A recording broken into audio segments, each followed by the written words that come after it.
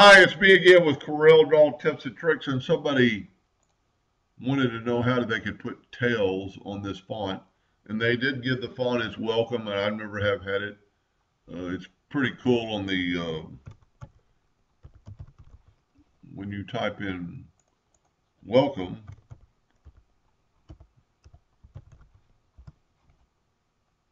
And use that font.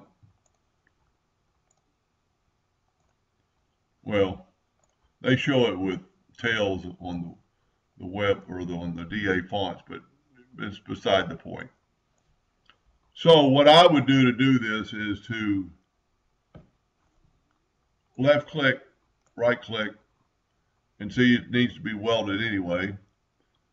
So I'd go control K and break it apart, then grab all of it and convert it to a curve, and then weld it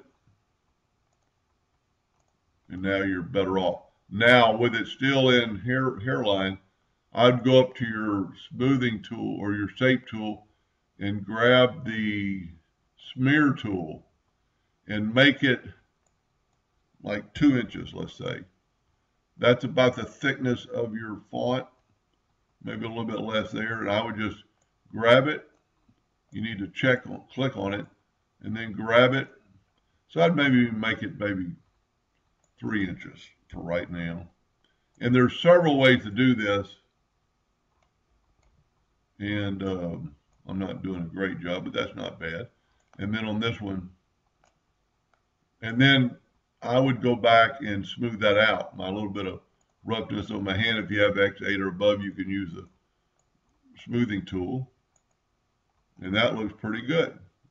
This is a little bit thin. So I was going to show you, you could actually let me see how far I can back up here.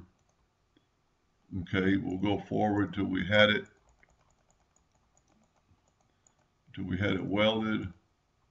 Okay, what I would particularly do in this case, because you have a part here, but you don't really have a part here, I would grab your shape tool and I would click on a node just outside that node and a node just outside that node and then I would hold down that node and that node with the shift button, and I would go ahead and start my tail.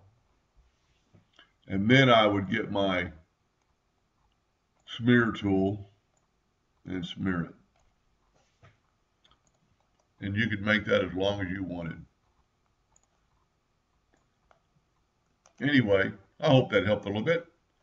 And thank you for watching.